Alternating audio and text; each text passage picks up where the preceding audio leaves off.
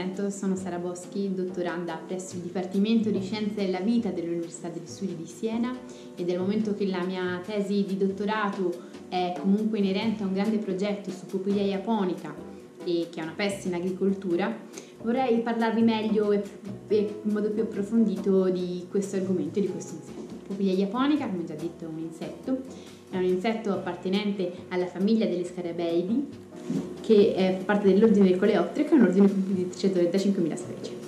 La Puglia japonica, come ricorda il nome japonica, è originaria endemica del Giappone. E le caratteristiche fisiche di Puglia japonica sono una lunghezza di circa 8-11 mm e una larghezza di circa 5-7 mm. A livello cromatico, invece, Popiglia japonica presenta un corpo e un addome color verde metallico, mentre le elitre, che non ricoprono totalmente il corpo, hanno una colorazione più tendente al bronzorame.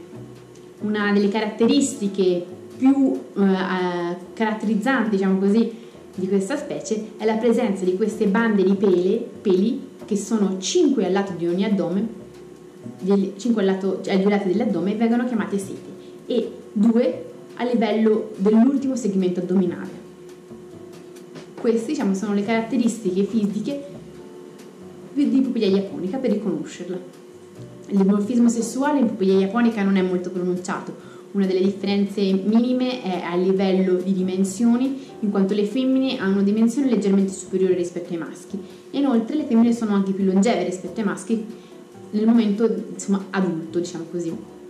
I maschi inoltre eh, presentano una, un, diciamo così, una posizione eh, dell'ultimo paio di zampe, del secondo paio di zampe distese nel momento in cui sono eh, al riposo, mentre eh, presentano sempre l'ultimo, oh, lo sperone tibiale più appuntito rispetto alle femmine.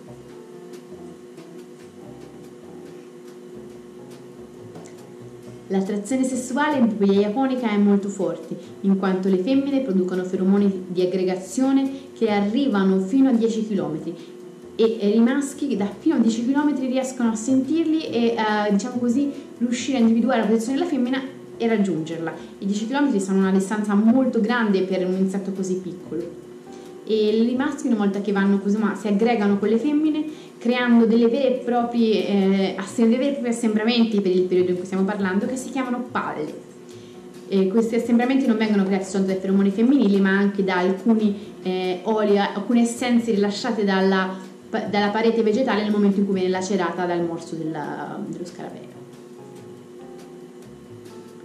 Eh, ciclovità japonica, per parlarvene vorrei cominciare a parlarvi della deposizione delle uova. La femmina scava circa 10 cm in un terreno morbido e umido e depone da una a tre uova.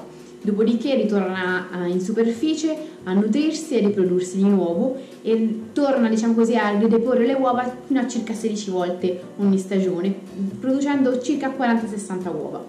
La fase di svernamento invernale è sotto forma di larva la larva si riattiva verso, a livello metabolico verso primavera e in questo momento diciamo così, si attiva e fa molti danni anch'essa all'agricoltura in quanto va a nutrirsi degli, degli apparati radicali delle specie erbacee, distruggendone eh, completamente e quindi diciamo così, portando alla morte della pianta.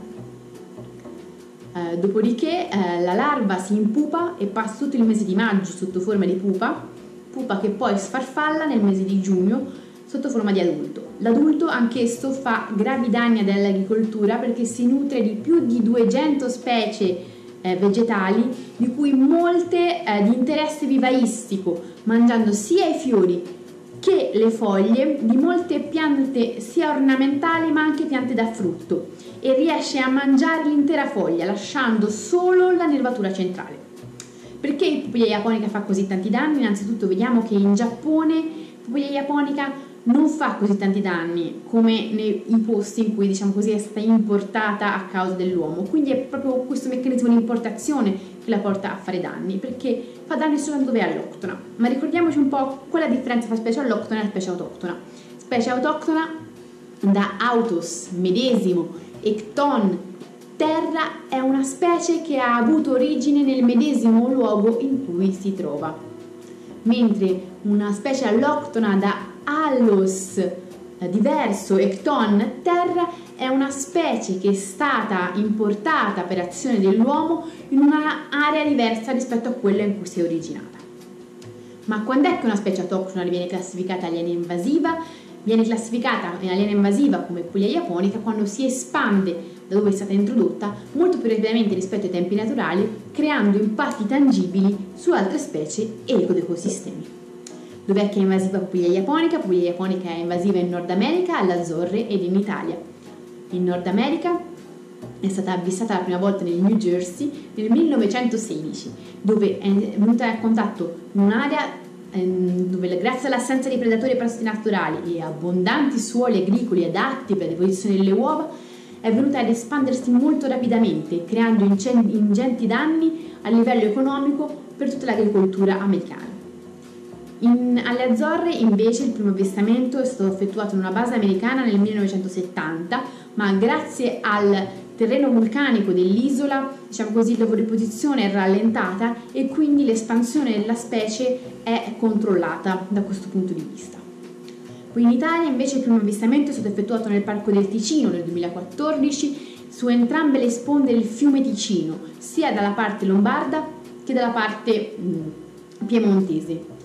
E grazie a, diciamo così, a strumenti di cattura alle trappole è stato visto l'aumento della popolazione di adulti tra, catturati, un aumento che negli ultimi 4 anni, cioè dal 2014 al 2017 ha avuto un, un andamento molto, molto, elevato, ma non solo, anche a livello di, mh, di area di area si è passato da un'area di 80, sugli 80 km quadrati nel 2014 a più di 800 nel 2017, arrivando ancora a colonizzare e invadere anche la, il, il, mm, il, Ticino svizzero. Per questo è nato il progetto Integrated Pest Management of the Japanese Beetle, grazie al quale mh, mm, si spera di poter arginare il problema di pupilla japonica e studiandola in primo luogo. Grazie mille.